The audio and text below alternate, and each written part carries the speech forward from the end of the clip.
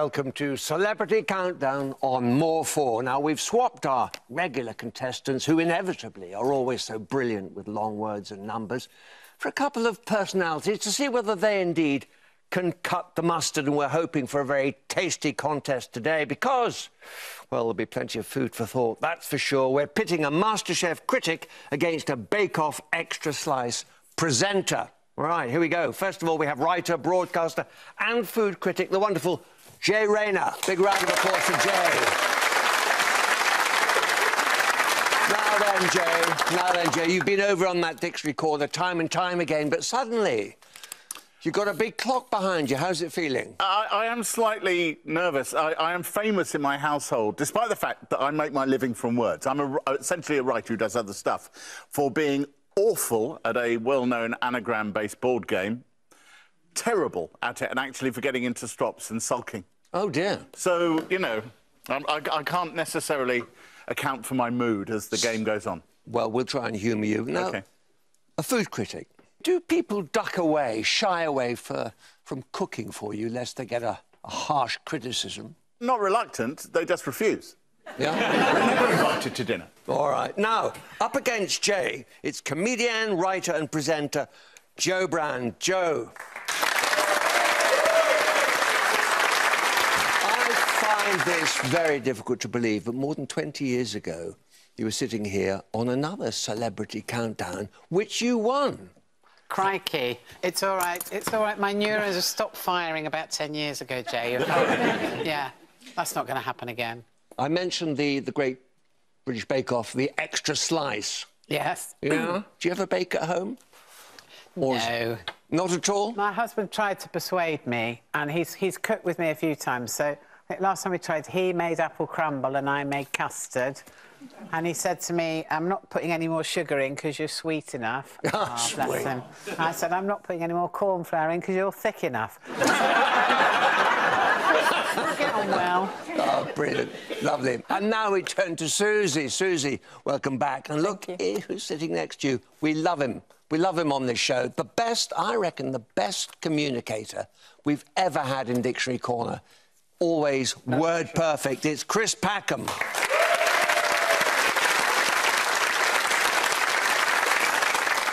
now, your anecdotes are terrific, and we look forward to hearing from you a little bit later. But now, keeping an eye on the letters and the numbers, it's our wonderful Rachel Riley.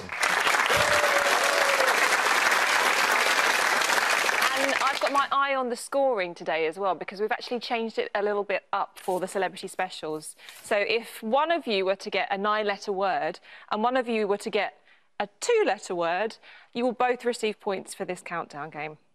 So in the numbers round, it's 10 points for spot on, 7 points for within 5 and 5 points for within 10. So it doesn't matter what the other contestant does, you'll still get your own points. So there we are. Now then, Jay, it's letters game. Off we go. Uh, a vowel, please. Thank you, Jay. A. A consonant. C. A consonant. L. A consonant. B. A vowel. I. A vowel. O. Another vowel. E. A consonant. S. Let's have another consonant. And the last one, R. And here's the countdown clock.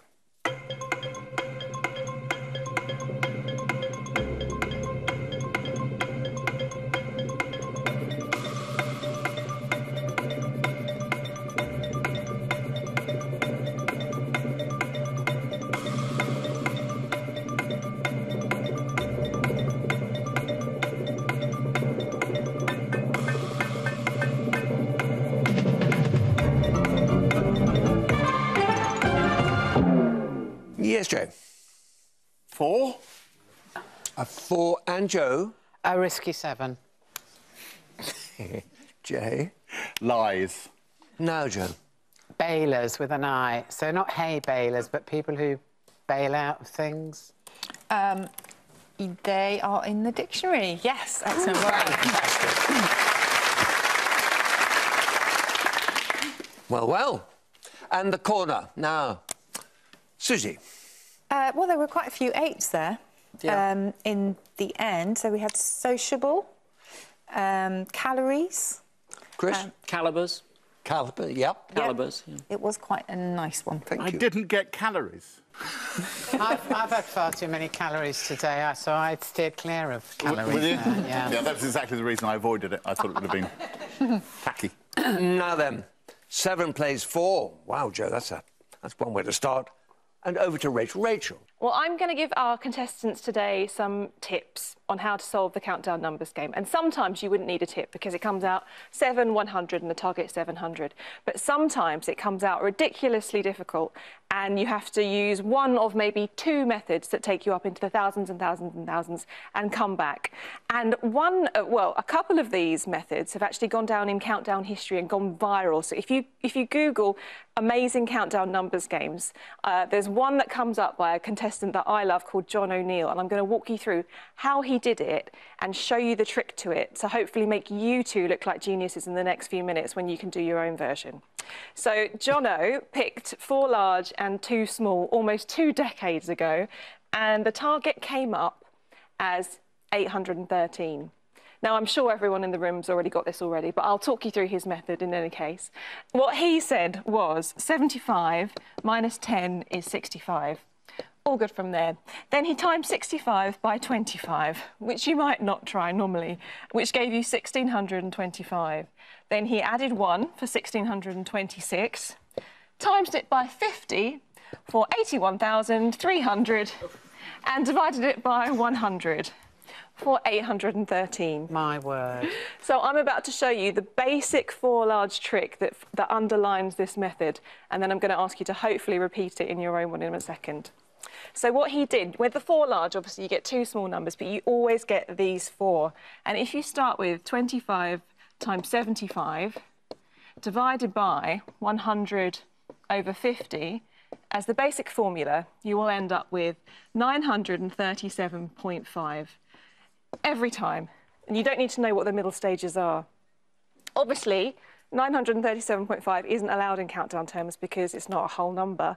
But if you add on something here, if you add on any odd number here, you can then divide by two and you can get a target that comes out around about 937.5. So if instead of 813, the target was 942, then the only maths you'd have to do here is 942 minus 937.5, which gives you 4.5.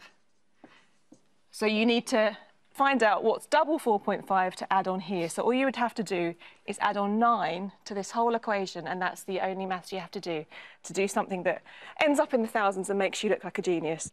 So I've gone through it very, very quickly, but I'm hoping in a few seconds you might be able to emulate it.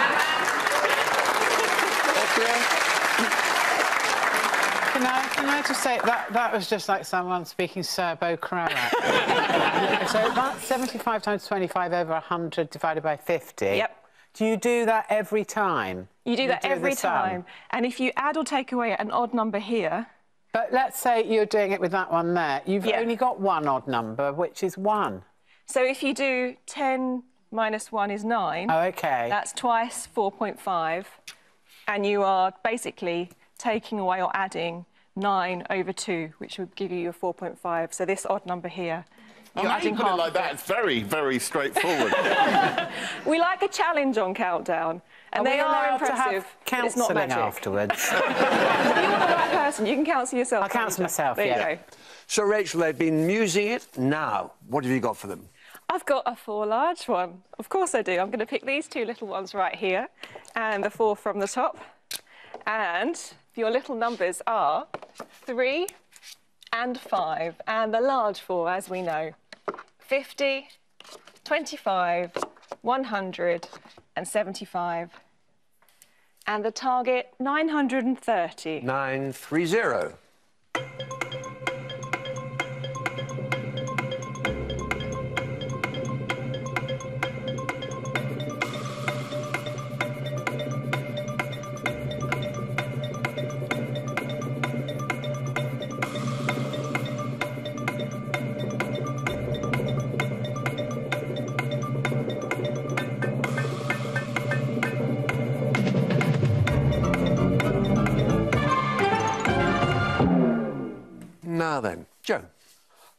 14,000.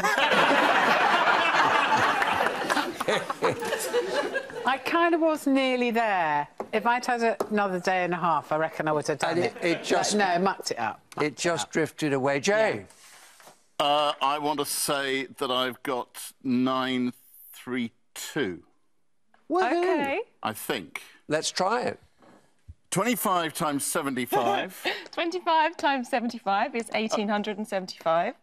Uh, 100 divided by 50 is 2. It is. 1875 divided by that 2. Oh, hang on, no, 1875. I didn't say this was going to be straightforward. Yeah. 1875 um, minus the 5 and the 3, Oh. minus the 5. Minus the five. You're not allowed to ask questions, Jay. Oh, See, that would. Right, minus the five? Oh, no. OK, that's wrong. So, no, So we is have to take enough? away. We have to add or take away an odd number here. So if you took away the five, for example, Yes, you would. You take away the 5. that would give you... of you course, 935 and 35. minus the 3. is 932. Two away. Yeah. Why not? Just about. Why not? But 9.30? Well, Jay was on the right track because mm-hmm. if you say five times three is 15, and then 75 times 25 is 1875, take away that 15 for 1860, Oh, wow. and then you can say 100 divided by 50 equals 2. But a tiny bit more practice, and I'm sure you'll be there. So there we are. And it sees Jay sprinting into the lead 11 to, uh, to Jo's 7 as we go into our first conundrum, chaps. Things on buzzers? Let's roll our first conundrum.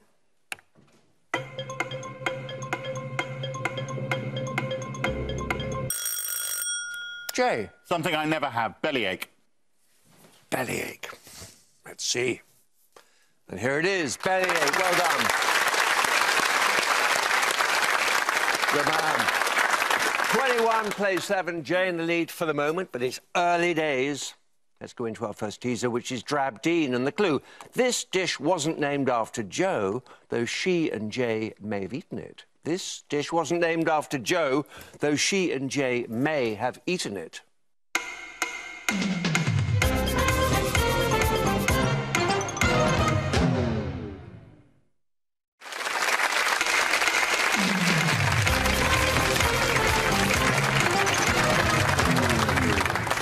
Back. I left you with the clue. This dish wasn't named after Jo, though she and Jay may have eaten it. And the answer to that is brandade. Jay, fancy brandade or is it brandade? Oh, it's brandade. It's it's salt cod, uh, Portuguese salt cod, which has been soaked, so it comes out, and then ideally mixed with mashed potato, and then turned into balls, and then deep fried. So what could be wrong with that? Sounds good to me. You happy with that, Susie? Very happy Good with definition? that. Yes, it comes from the Provençal word uh, brandado, which means something that has been shaken. So I guess it's a puree, pureeing maybe. Could be. Excellent stuff. All right. So, so, Jay, well, you're here with your brandade. My Last Supper. It's your latest book. Tell us a little bit about... You haven't got a copy. Oh yeah. Very well done. Tell us a little bit about it. What, what's it all about?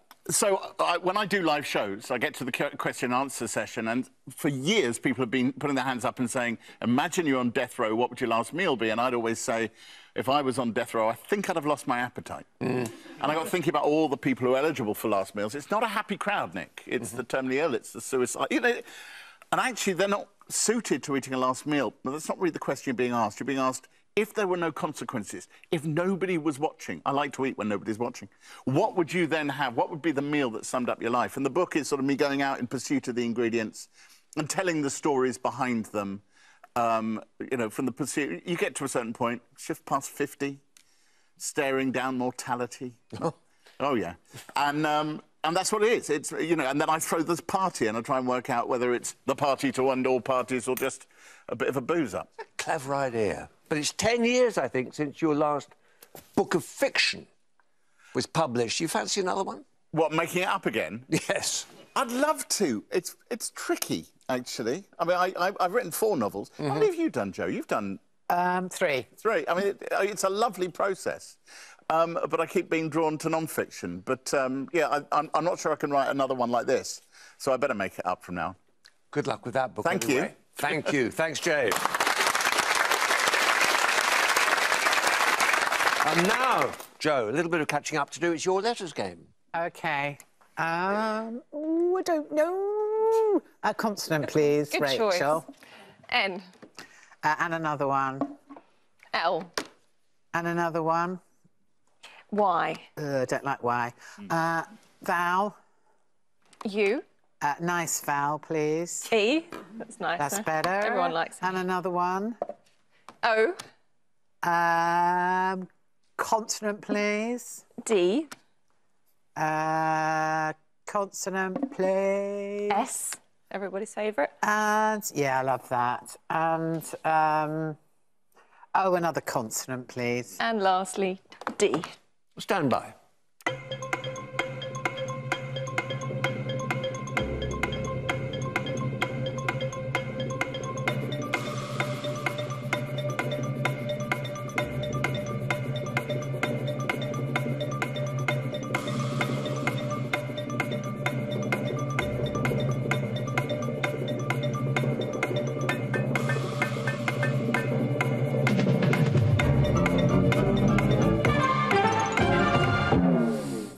Yes, Jo. Uh, five. And Jay? I've got fives. Jo's five. Uh, sound. And Jay. Dunes. Yes, absolutely fine. And in the corner there, Chris and Susie? Nodules. Yes. Susie? Um, well, Jay says she doesn't like Y's, but if you've got an L, they're really useful for adverbs. So you can always look for the adverb. Oh, yeah. The sound Lee was there. Oh, bum. Um, Oh, bumly. Sorry. Bumley. um, and there was actually um, a longer adverb there as well for eight, soddenly. So something might be suddenly melodramatic, totally saturated with melodrama. Okay. well, well. So, 26 to 12. Jay, you're back on. It's your letters game now. Good luck. Vowel, please. Thank you, Jay. A. Uh, consonant. M. Vowel. E. Consonant. S. Consonant. T. Vowel. A. Consonant. N. Uh, random consonant. Random B. And a vowel. And the last one. I. And the clock starts now.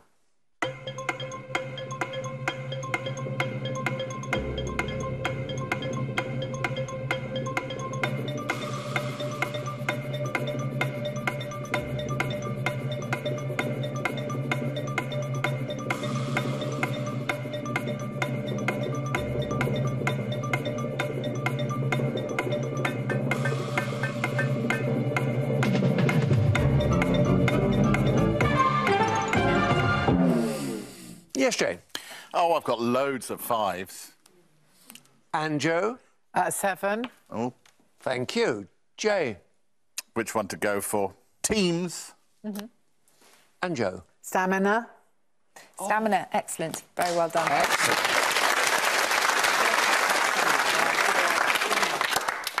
Chris and Susie. Can we match seven? Got eight. Um, animates. Animates. Excellent. Thank you for that. 19th place, 31. Now, oh, Jo, you'll love this. It's a numbers game.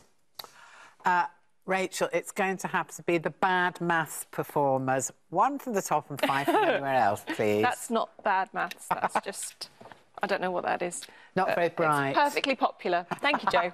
the five little ones are five, four, one, nine, and six. And the big one, 100. Everybody's favourite.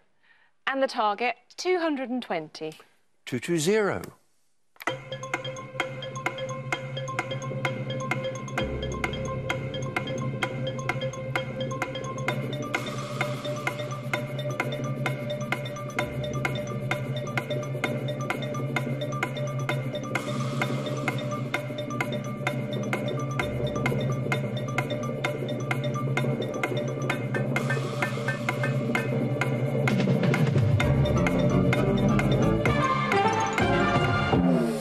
Thank you, Jo.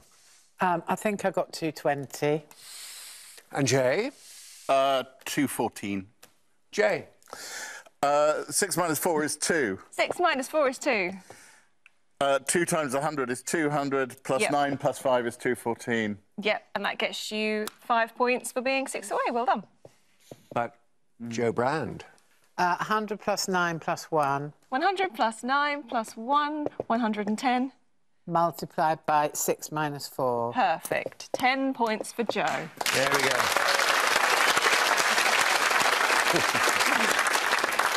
Twenty-nine plays thirty-six as we turn to Chris.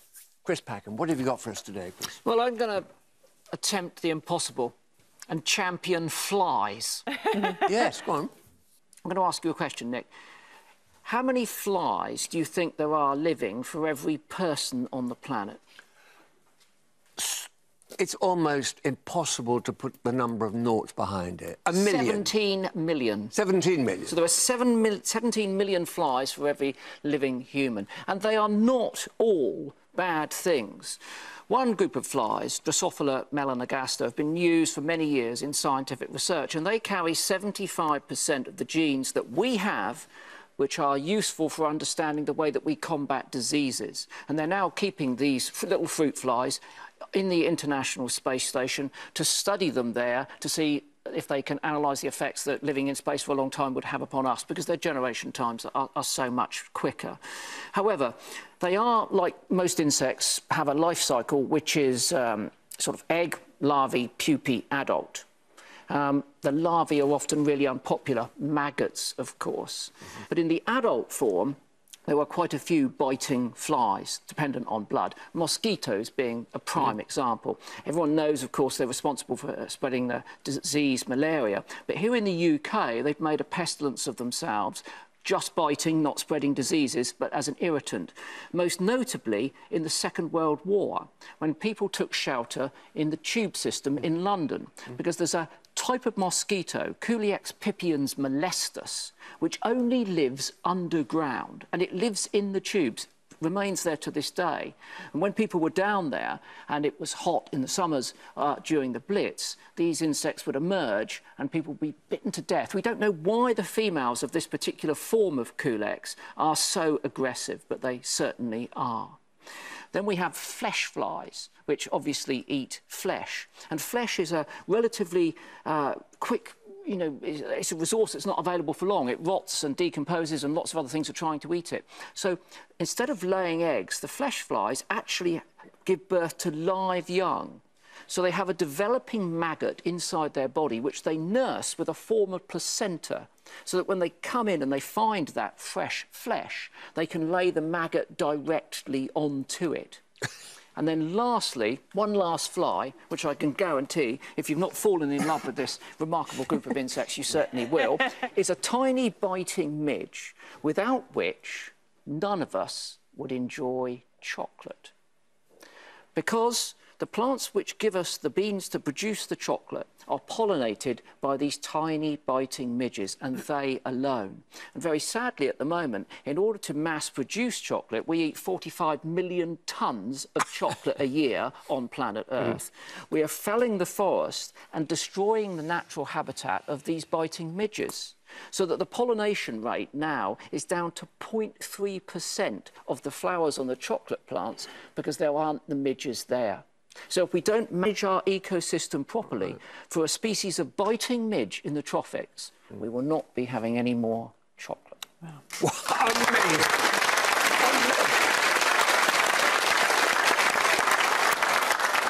You are extraordinary. The amount of information you packed in there is extraordinary. Thank you so much. So, with the score standing 36 to 29, it's time for our second teaser, which is Join Pappy. And the clue do call round to see my parrot, Mr. Rayner, said Chris. Do call round to see my parrot, Mr. Rayner, said Chris.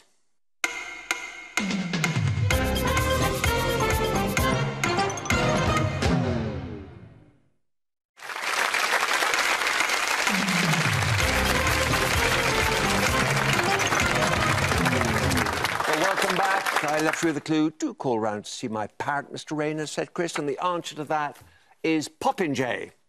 pop in Jay. Now, Jay on 36 and Jo 29 has returned to Jo. Now, a little bit behind. But Yeah. you're catching up. And your point is? Tell me about Born Lippy. Well, basically, it is a tongue-in-cheek advice book because I wouldn't really dare to give advice to anybody, although I constantly foist it onto my daughters who are 18 and 17. Hmm.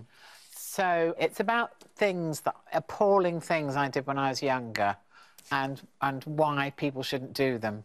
A bulky book. A bulky Yeah, absolutely. 47 volumes. Brilliant. All right. Now, stand up, though. Great stand up comic. You've had good places and you've performed in bad places. Which was the most terrifying? Is it, have you ever been sort of frightened or worried?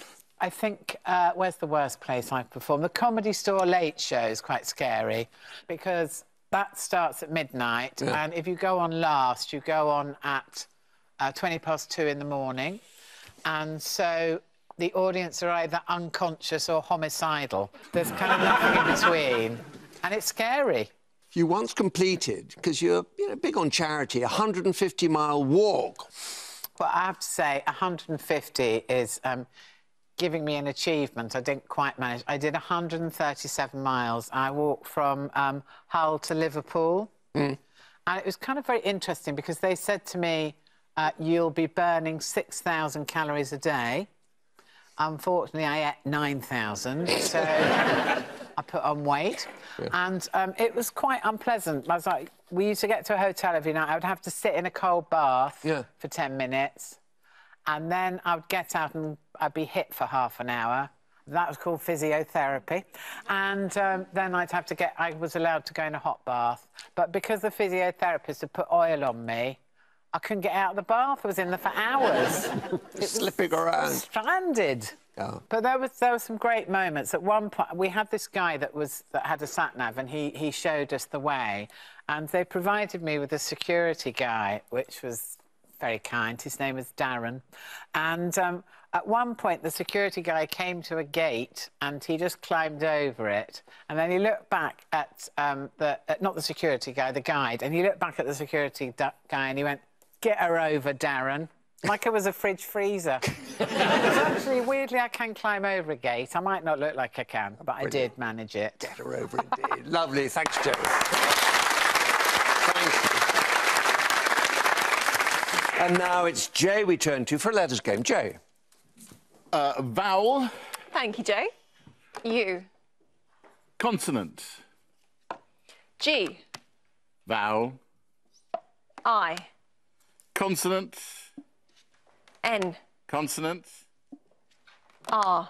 consonant, C. vowel, O. uh, vowel, E. consonant. And the last one. V. Stand by.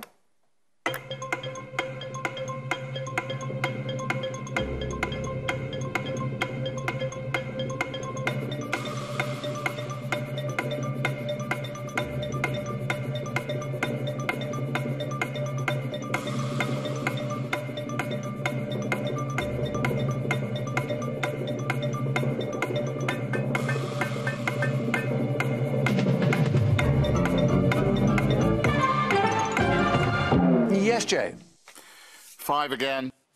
And Jo? At six. Thank you. Jay? Groin. Jo? Curing. Oh.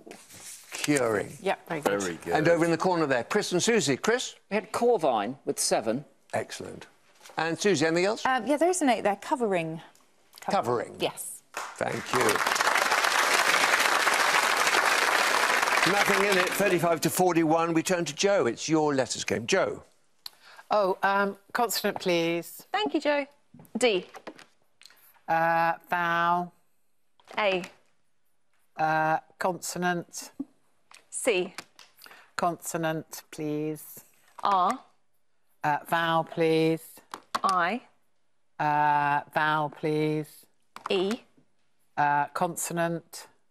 N. Um, consonant. T.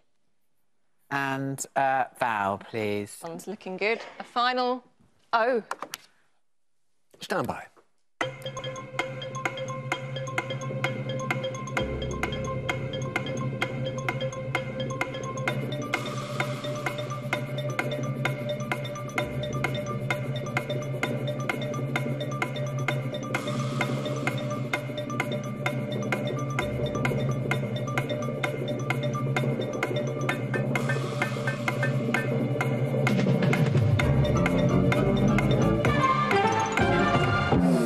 Yes, Jo. Um, seven. A seven. And Jay? Um, I'm going to go for seven. Jo? Uh, Cania. No, Jay. Radiant. Oh dear. Um, well, Kenya needs two N's. Um, unfortunately, we've only got one. And Oh, I um, wrote down two. I'm going mad. Sorry. and Radiant needs two A's. Oh, so I have to disallow both, I'm afraid. Excellent. Sorry. There we go. At least we're both crap. Yeah, both rubbish. What about the corner? We had a couple of eights, reaction and creation. Mm-hmm. But there is a nine. Susie? Yes, it's the editing of a text before publication, and that is redaction. Redaction. Yeah. Yeah, the thick black marker. 41 plays 35. Jay, it's your numbers game now. Can I have two beautiful ones from the top and three others? You can have four if you want. Can I? Yeah, you get six in this game. It's Can not I? a good Well, then I'll have it? four others. Bonus one. Yeah, go on. I can, or I can just give Jo the extra fourth one if you want to make it interesting. yeah, why not? well, the fourth one is nine, and the other three littles are two, eight, and five, and your two beautiful large ones, 75 and 100. And this target, 840. 840.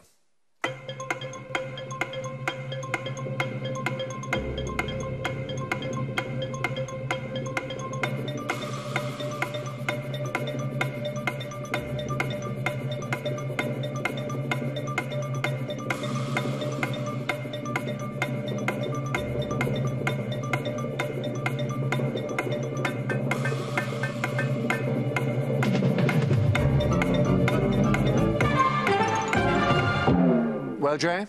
Eight, four, three. And Jo? Um, 840. Jay? Uh, eight times a hundred. Eight times 100, 800. Um, five times nine is 45 minus Yep. the two. 4, you're 43. Yep, and that gets you seven points. Mhm. And Jo? Um, 75 plus 9 84 um, multiplied by 8 plus 2. for 840 nice. and another 10 points.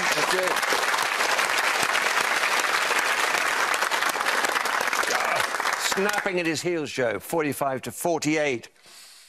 Let's hear from Susie. Susie, it's time for your wonderful origins of words. And today? Today, well, one of my favourite, favourite subjects is mistakes in English. And mistakes um, are everywhere in English throughout its history. And it's the way, they are the way in which English evolves and they uh, move on. And we had Popinjay earlier, a vain or conceited person. And actually, it was um, the original Old English word for uh, a parrot, nothing to do with the J, but because we couldn't quite pronounce the original Arabic word, which was sort of babaga, imitative of the bird's call, we thought it sounds a bit like J when it morphed into various languages, and so we stuck a J on um, in the end, believing perhaps that they were associated, but they weren't. And there are so many examples of how we couldn't quite get our tongues round the original foreign language, and so we mangled it completely. So Jerusalem artichoke, one of my favourite examples. Jerusalem artichoke, you might wonder what's it got to do with Jerusalem. The answer is absolutely nothing. It has everything to do with the girasol, which in French is a sunflower, because the Jerusalem artichoke is a heliotrope. It turns towards the sun, which is what girasol means. Could we say girasol? No way. So girasol sounds a bit like Jerusalem. Didn't matter that it actually had nothing to do with the holy city, and we changed it. Uh, avocado famously comes from an Aztec word that actually meant testicle because of the avocado's shape. Um, when Portuguese explorers discovered it, they thought that Ahuatl, which is what it was in the original Nahuatl language, sounded a bit like, to their ears, it sounded a bit like advocado, which they already had uh, in Spanish, meaning a solicitor. That didn't matter. It sounded a bit like that, so they called the avocado what to them was a solicitor. And that, of course, then slipped into English as avocado. And we've lost all signs of um, testicles along the way. Um, and finally, possibly my favourite mistake of all time, it's a spelling mistake. Spelling is a total nightmare, um, but that's why I love it. It's really gnarly because it's got so many stories behind it. And if you've ever wondered why there's an H in ghost, it actually was a mistake. What sort of mistake? It goes back to William Caxton, who set up the first printing press.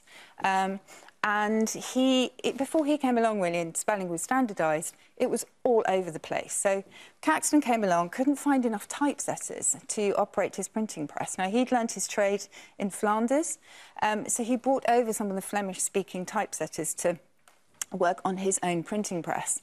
They saw the Old English word for a ghost, which was G-O-S-T, which makes perfect sense. It would be very easy for kids today to learn, and thought, that doesn't look right because for them in Flemish it was a geest, G-H-E-E-S-T. So they lobbed an H into the Old English word. And we have been stuck with it ever since. And not only that, but ghastly, which was spelled G-A-S-T-L-Y before, and aghast, A-G-A-S-T, suddenly got an H as well, all because of that single person's decision. That's wonderful. Fantastic. That's brilliant. Now, 48 to 45, Jo on 45. Well, let's rest them and have another teaser, shall we? It's to the food and the clue. They couldn't wait to get to the food, so they got a shift on. They couldn't wait to get to the food, so they got a shift on.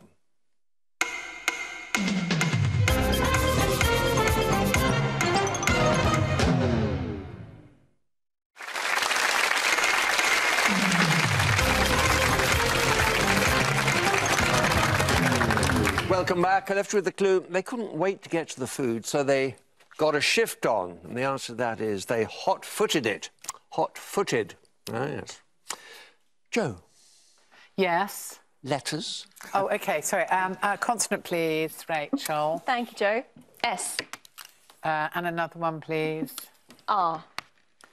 Uh, and another one. X. Look what you did. Sorry, Jay. Yeah, no. Vowel. U. Uh, and another vowel. I. Mm, not great. And another vowel. It'll get better. A. Um, uh, consonant, please. N. Another consonant S. and a vowel. Not too much better. A final I. Stand by.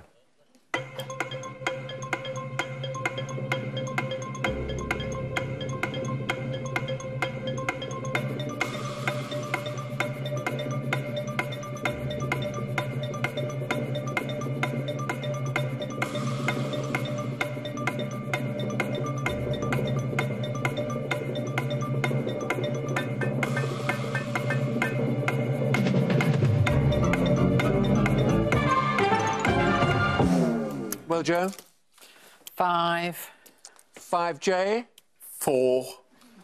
It's the And X you- that did it. Well, well, That just kind of distracted me. It's hurtful.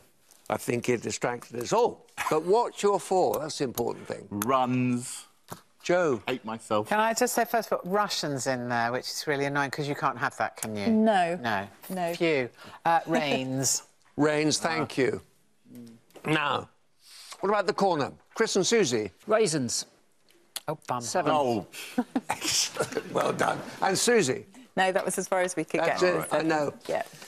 We were all thinking about sex and, and then Russians. We were furiously thinking there must be a way to squeeze Russians in there somehow, but we couldn't. Two points in it, 50 plays, 52. Jay, it's your letters game. great. Uh, Insight Consonant. Into, insight into Nick's mind there. yeah, yeah, yeah, yeah. Just another weekend round his. Um, consonant. T. Vowel. E. Vowel. U. Uh, consonant. R. Vowel. O. Consonant. L. Uh, vowel. I. Consonant. And the last one, R. Stand by.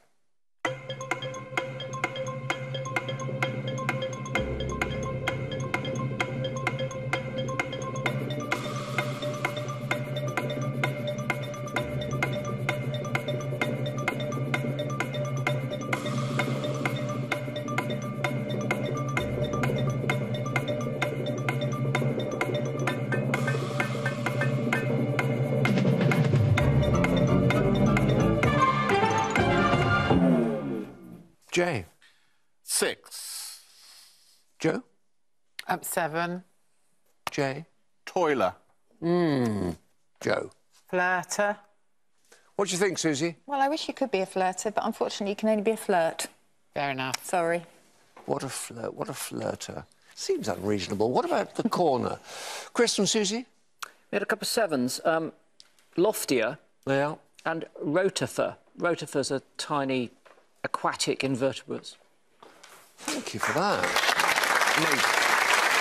OK. So Jay has sprinted on a little bit. 58 to uh, Jo's 50. Now, we're left with a numbers game. Good luck to you both. And over to you, Rachel. Yeah, all the power's in my hands, so I could, could give you another opportunity to look like geniuses with four large. I'm not sure if that was sarcastic or I could give you two from the top. What would you rather? What's the vote? Oh, What do you want? I don't. I'm no. I will. You've you've won the last two maths ones, so you choose. Oh, OK. Oh, all right, should we have two from the top? Yeah. Yeah, Two, from the top, then, please. and four little. And we possibly have a crucial conundrum coming up. Mm. Final numbers are 10, 2, 2, 9, and the large two, 25 and 50. And the target, 695. 695.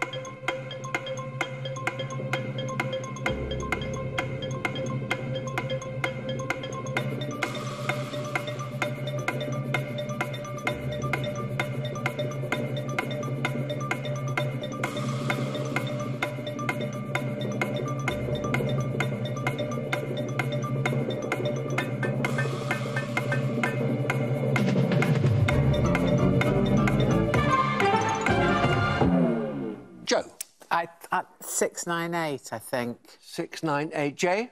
Six nine one. Jay. Uh, two times fifty. 2 times 50, 100. Um, nine minus two. 9 minus the other two, 7. Seven hundred. Times Multiply them them. together, 700. Minus the nine. You've used the 9, I'm Oh. afraid, Jay. I'm rubbish, aren't I? Bad luck. Go for it, Jo. Now then, Jo. OK, um, 10 plus 2 plus 2. 10 plus 2 plus 2, 14. Oh. Oh no, have you used the three twos? Yeah, I've used three twos. Oh dear. I think, yeah. Yeah. So, so that's multiplied by 50, that's 700. Yeah. 700. Then I used a, yeah, then I used a 2. Oh, that's Dull. bad luck. Let's turn to Rachel. Rachel, unscramble it for us, please. It was possible if you say 50 minus 10 is 40, times 2 is 80, times 9 is 720, and take away the 25, 695. Oh, super. That's it.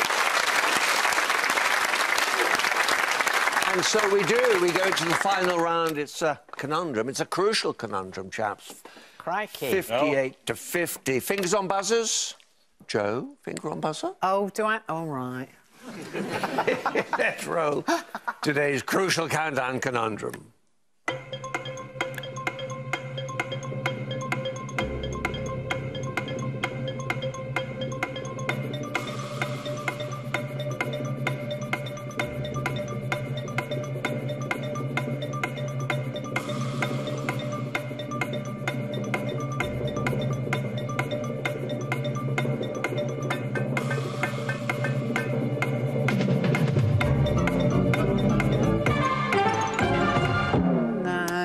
Exciting. wasn't oh, it? Ouch. Very exciting. Should we see what it was? Yeah, go on. What did you miss? Let's roll it and see. And here it comes.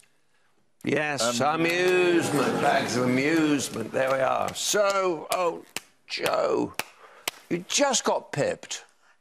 I'm pissed off. You had him on the ropes. And then, Thank you, darling. well done. You get a goodie bag. You, sir, get two things. Priceless. You get a teapot. And you get a piece of this kryptonite, which, of course, is absolutely invaluable. It's fantastic. Thank, you very much for coming, both of you. Such fun. Such good people. I loved it. Thank you. And Chris Packham, too. Thank you very much. And Susie. See you both next time. For sure. And Rachel, too, of course. What do you reckon? Who knew we have flyers to thank for chocolate? Hmm. I know. Amazing, isn't it? Incredible. The world's a wonderful place. Can I just ask, where can I get my 17 million flies? Don't wash for a week and they'll come to you. All right, Rachel. See you next time. See you then. All right. So that's Celebrity Countdown. Wow, what fun that was. Join us again next time. You be sure of it.